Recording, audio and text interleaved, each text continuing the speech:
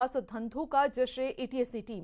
હત્યાની ઘટનાનું રીકન્સ્ટ્રક્શન કરવામાં આવશે. એટીએસની ટીમ બે આરોપીઓને સાથે રાખી કરશે ઘટનાનું રીકન્સ્ટ્રક્શન બંને આરોપી શબ્બીર અને ઇમ્તિયાઝને સાથે લઈને જવાશે. હત્યાના સ્થળ બાદ હથિયાર છુપાવ્યા એ સ્થળે જશે ટીમ.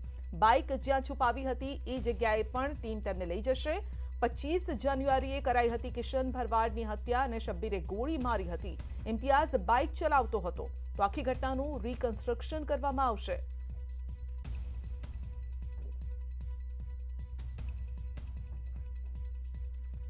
તો આ અંગે જે સીધી વાતચીત કરીશું સહયોગી અ, હરમેશ આપણી સાથે જોડાયા છે અને ત્યાંથી અપડેટ મેળવવાનો પ્રયત્ન કરીશું. જી અ, હરમેશ કેટલા વાગે ટીમ ત્યાં પહોંચી રહી છે અને રીકન્સ્ટ્રક્શનની કામગીરી શરૂ થશે?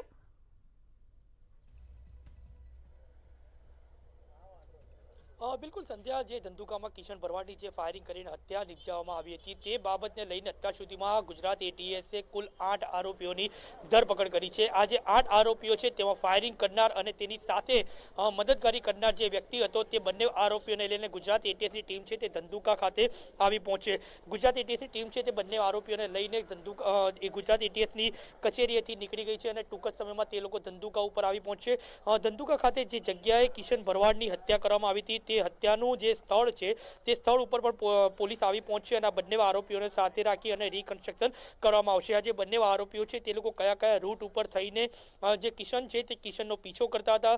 કેટલા દિવસો સુધી તે લોકોએ રેકી કરી હતી, કયા કયા વિસ્તારમાં થઈને તે લોકો પસાર થયા હતા. આ તમામ બાબતોને લઈને રિકન્સ્ટ્રક્શન કરવામાં આવશે.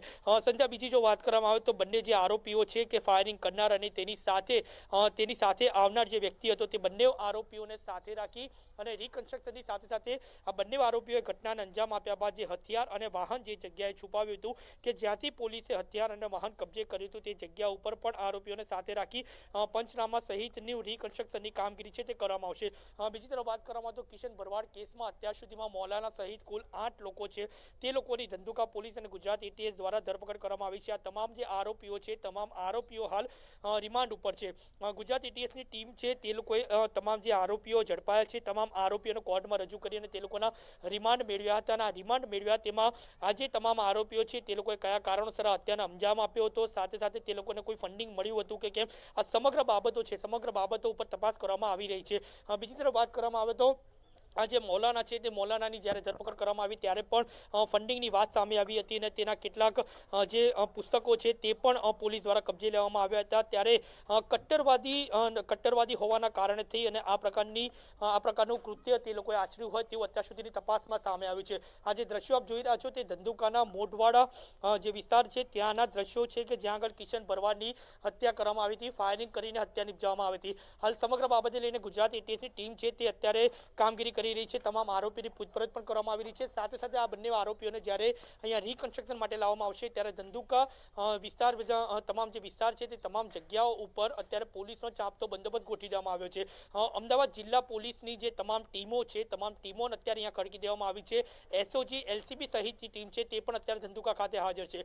બીજી તરફ વાત કરવામાં આવે તો જે જગ્યાએ હથિયાર છુપાવ્યું હતું અને જે વાહન છુપાવ્યું હતું તે જગ્યાએ પણ રિકન્સ્ટ્રક્શન કરી અને વધુ માહિતી મેળવવામાં આવશે. સંધ્યા. જી હરમેશ રીકન્સ્ટ્રક્શનનો હેતુ શું હોય છે? કઈ રીતે પોલીસને આ તપાસમાં મદદ મળતી હોય છે? અને આ જે પર્ટિક્યુલર કેસ છે, કઈ કઈ જગ્યાએ તપાસ કરવામાં આવશે? આરોપીઓને સાથે રાખીને. બિલકુલ સંધ્યા, જ્યારે આરોપીઓ પકડાતા હોય છે, ત્યારબાદ તે લોકોની પૂછપરછ કરવામાં આવતી હોય છે અને પૂછપરછમાં આરોપીઓ જે બાબતો જણાવતા હોય છે કે આ રીતે તેઓએ ઘટનાને અંજામ આપ્યો હતો, આ જગ્યાએ તે લોકો ગયા હતા. તો હકીકત તે જગ્યા એ તે લોકો ત્યાંથી પસાર થયા હતા કે કેમ તે બાબતે લઈને આરોપીઓને સાથે રાખી અને ત્યારબાદ રિકન્સ્ટ્રક્શન કરવામાં આવતું હોય છે.